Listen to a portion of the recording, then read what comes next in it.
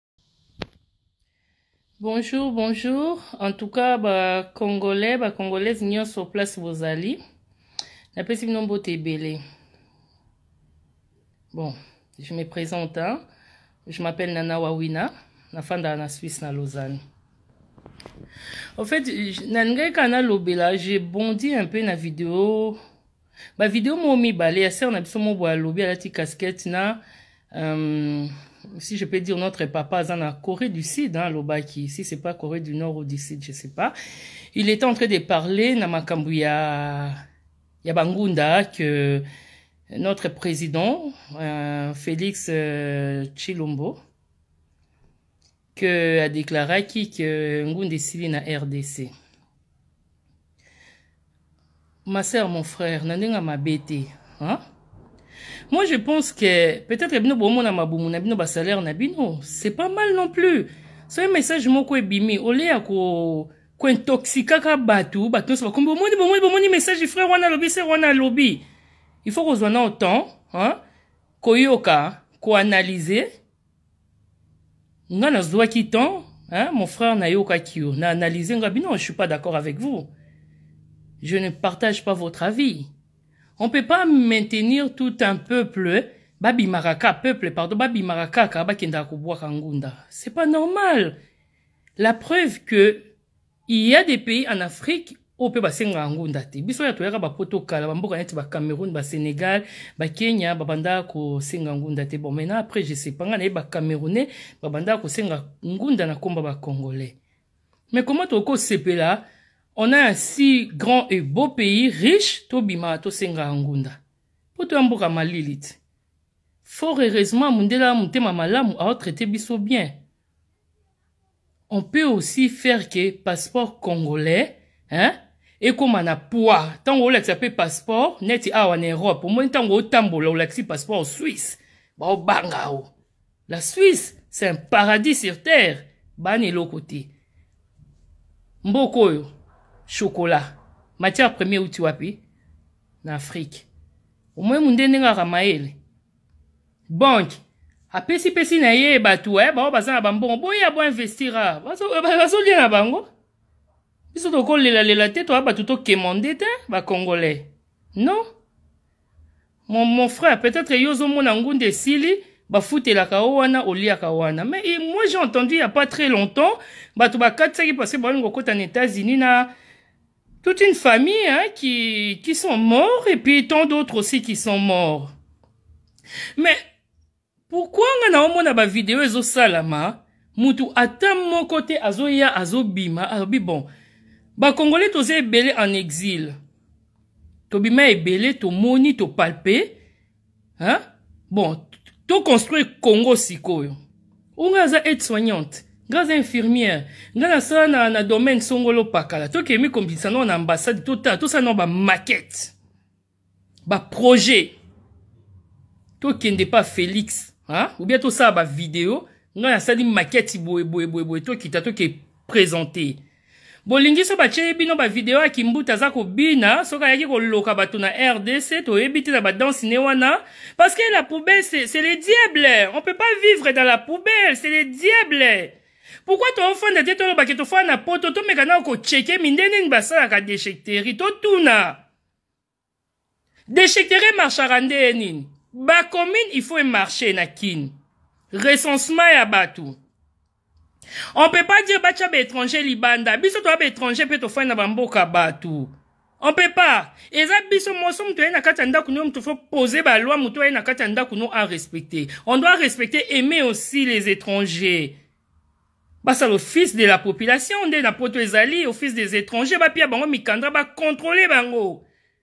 yo moko congolais bamatise yo moko l'ennemi du peuple noir c'est le peuple noir il faut qu'on arrête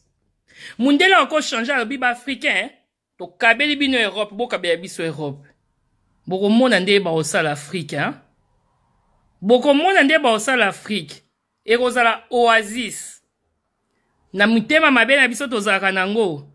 tokobotela bango esu mukomprena boyibi ebele bozonga bozonga baoloba bon tout ce qu'on a fait bozongisa biso eloko te bozongisa bino bozonga biso kaka afrike eh, biso tozonga mokomona bakoya kokuta mboka na bango ako pire kutu nde batongaka tokobebisa tokokei mpe na afriki kuna tozongi su na afriki tobebisi su bango lisusu baye babongisi mokili na bango ezongi bien tala on peut réinsérer les gens bato même basoldat ya mboka même baujana ba bashege on peut les réinsérer tout un programme ntango oza mwasi ya président la grande dame soki oyebi te okoki ko se référer na ba grande dame mosusu oyo basala bien quand je vois olive oyoki epesa bato ba super basaki ya farine enveloppe moi j'ai fait ça moi j'ai fait ça c'est pas normal moto wana bampiaka lelo oyo opesa mbisi ali comment cette personne apprendra à, à aller pêcher pour manger il faut créer moi j'ai vu une émission si je me trompe pas euh, côte d'ivoire hein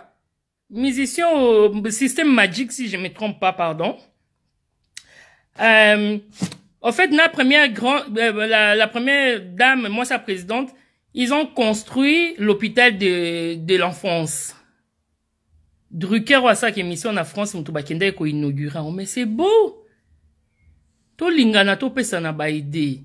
nga lobi na butu nazali surmerge bato batindeli nga bamessage wana lokola nga naboyaki yango me fo mona nabimi ndoki moi je suis pas d'accord qui vous dit que soki fayulu hein, azalaki président que tout allait être bien qui vous dit qui après ntango na oloba boye nakoteli chilombo nakoteli ye te mais ngai mpe naa na besoin congo ebonga hein? naa na besoin mpenza rdc ebonga oza mpe congolaise ofai na mboka no boyoki mpe elengi bino bokanisi nde tofanda kaka na poto hein? basali basysteme nyonso tu bien oyo basalaire oyo tala omoi na poto eh? okombolaka otambola na mercedes moto aye na kati ya ndako na amoni bien bato basekaka social bozela nao ngai na explike bino bino bato bokomprenaka te me mondele ya mayele ti atimbela ti alobi alingi pauvrete na mboka na ye te acreye système social acreye système ya chômage oza esu na mosala te oleki okoma shege na nzela obana no bakendaka klasi te pia kende ya chômage okofutama esimbi te keye na social a maîtriser à contenir aboyi pauvreté moi une fois j'étais à la route namona tokotoko moko bwa akweya na kima mbangu na secourir au secours au secours ambulance eye aza tokotoko aza na badroit awa na prisonnier aa na badroit akoti prison otala tele azolia sai mosala na kati bafuti ye bomoto mundele aa na bomoto pourkui biso banoir toolinga ozala na bomoto te meme criminel aza défendu okomona baotinda bino baimage baza koboma bakoko baza kotya bango bamoto non handikape aza motu balekise na moto ya liboso bato mosusu babotama bahandikape de naissance bato mosusu baza bahandikape eyela bango les personnes âgées il faut les respecter Baopito na Afrique ba respectaka bato te, basimbaka mutu te, il faut mbongo. C'est pas normal. On, ça c'est des choses à dénoncer. Vous voyez? Ça c'est des choses à dénoncer. Tosali ba plan ba makambo ebele, to kepe action et ça mi to bongisi. C'est pas oh, ngunda ngunda ngunda. Mais non, réfléchissons. Réfléchissons. Ezaka te que mutabouaki message bobina surtout bokomi ko applaudir à lobby bien. mais président azali te mabe omoni biso bana poto tozoboma plus koleka kuba to baa na kisasa tozoboma biso toza tobanda nao kaka na poubele poubele oyo eza na kisasa toza ebele awa biso na poto poubele eya te poubele tozalaka nango na kati ya ndako eya mpe propre solo eza te totriaka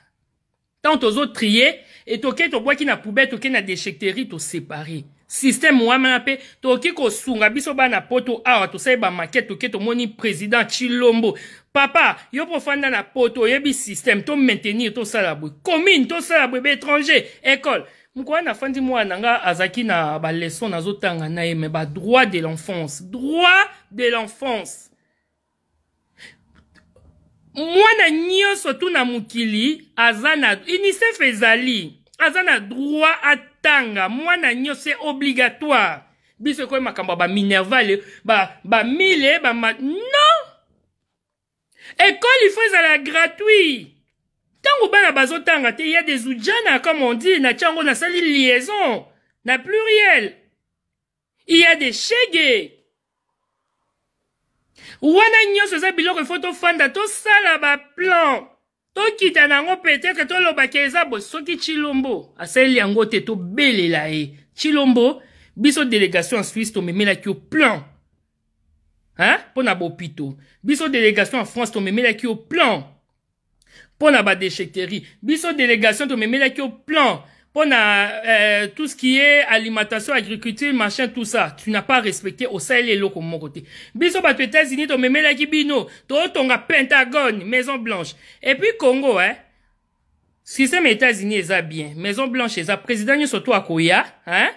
afandi soki manda na ye esili soki atonga ndako na akei okoseka tshisekedi aza na ndako te aza na boye me plan nini yo osali mpo président rdc azala bien ayiba te azala na salaire nde bato nyonso tu bayebi ke awa président azalaka na salaire oke oyiba te wana papa mon frère limbisa ngai namoni ke otalaki kaka libumu na yo olingi bamaintenir congo bato ya bakongole babimaka bayaka bazalaka kaka bangunda comme ça yo kontinuaka kozwaka salaire na yo oliaka eya normal te je suis désolé ntango mosusu okosepela na video te mais mon frère eza na ndenge ya mabe te na ndenge mpenza ya koloba ke tobongisa biso nyonso tu hein? koma biso tosepela yo ofandi na poto neti ngai ngai naya na ngai na poto nasala na ngai so ba 24 ans na ngai bana na ngai bakendaka classe baliaka osepeli non un vrai congolais il faut azala na souci ya mboka litala noyebisa bino nga mpe nawumela awa eh. mais soki lelo balobi ke congo tobongisi biso nyonso tu towana na biso bien mutu moko te tokokosana liboma tovanda na poto te malili ya poto eleki eh? awa tovanda bapesi oyo exigence eza boye eza waprendre wa lese soki osali yango toza na mama ya problème na mbila tokoma mpe na niveau wana na mboka na biso chinois akoya asumbeli oyo oh, kingani aye non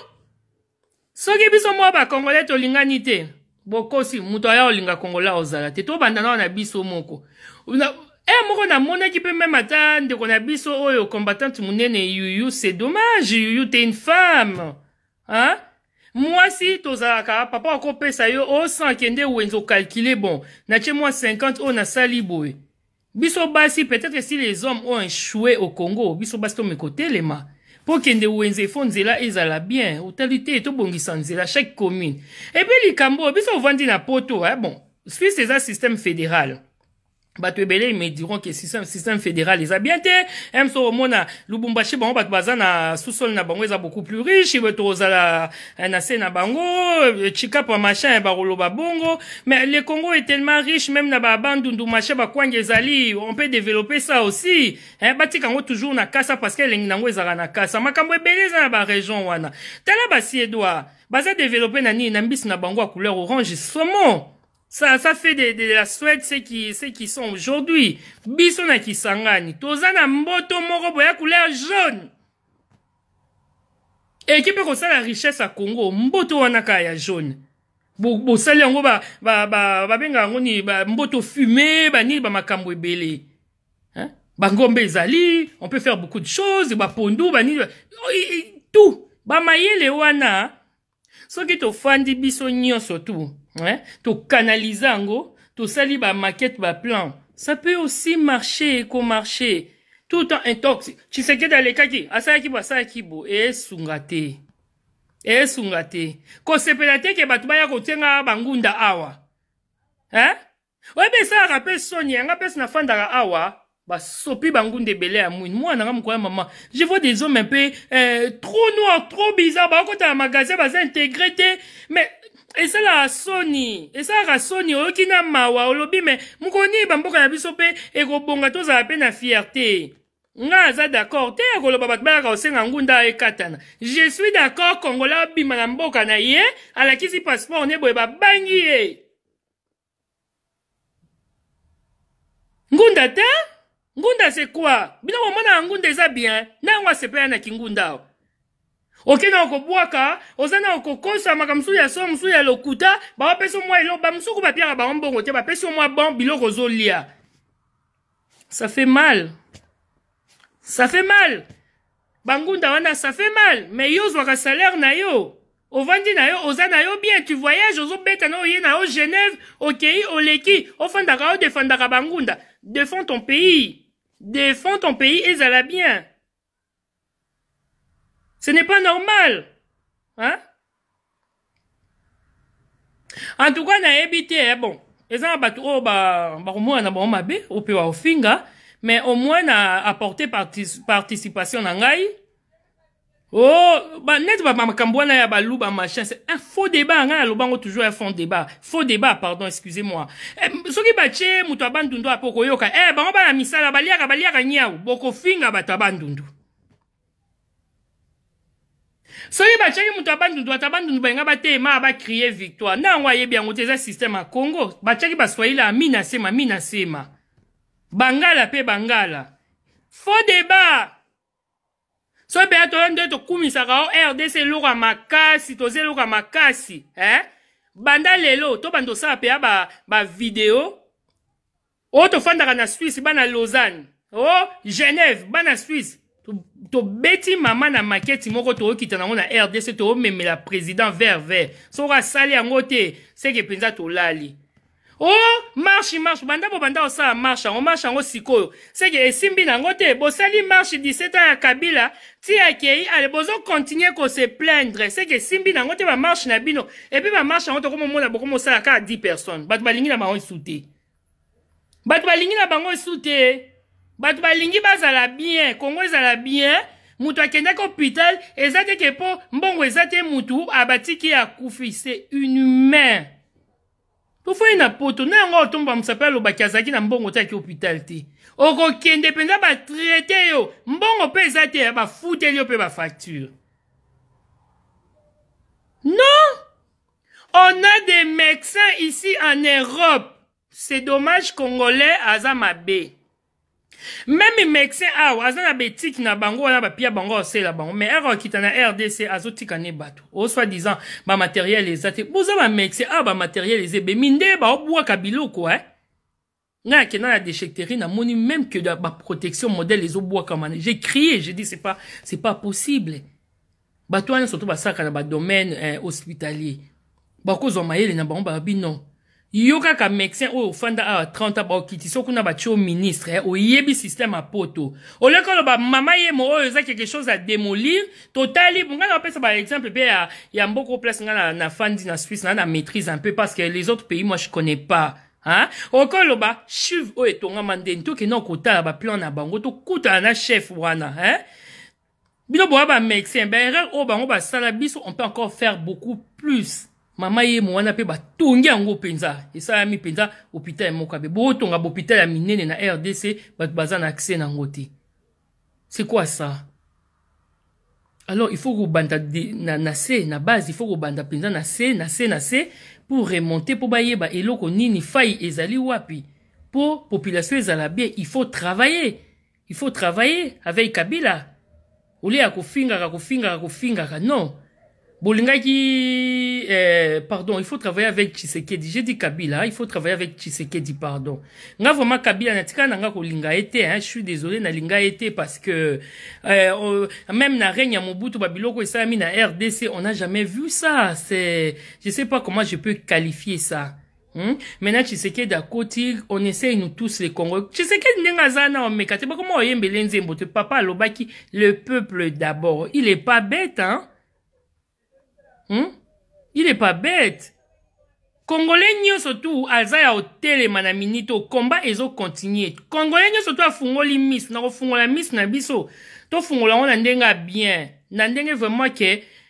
mboka na biso ezala bien tomema ba idée moko réussi ici même en, euh, en exil tomema yango na congo toboma te biso toyebi ebele te na poto pourkui tolingi toboma bandeko na biso baza na afrike eh? tomemela bango babiloko ya kitoko oyo biso tomoni awa kutu ekoleka lisusu na baétranger yango baza kuna baokama baba e eh? bato bafungoli misu kongo ekomi nde boye ah oza étranger hein ovanda mpe bie bapesa yo mokanda tu es mieux traité ke na mboka na yo moko babiloko wana tokosalaki esalama mpe c'est faisable bavideo na bino ya intox wana kaka tshisekedi tshisekedi botika ekoti te esimbi te likambo oyo bolobeli ya bangunda wana faux debat nga mpe nayobi eza faux débat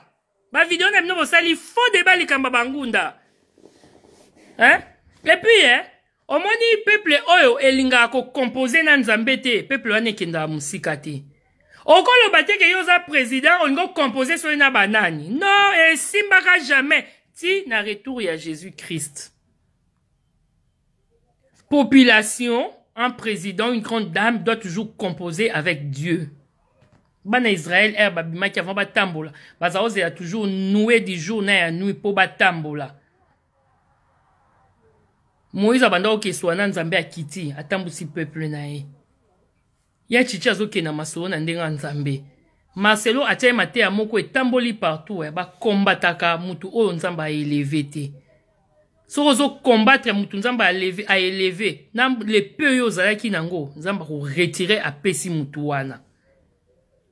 à la place de combattre tshisekedi tozala uni tobimisa baidée hein? tokende de l'avant en tout cas na, na partout où vous, vous allez vous retrouver hein? napesi bino bambote ebele des gros bisous eza kaka na sens ya, ya bien hein? ya congo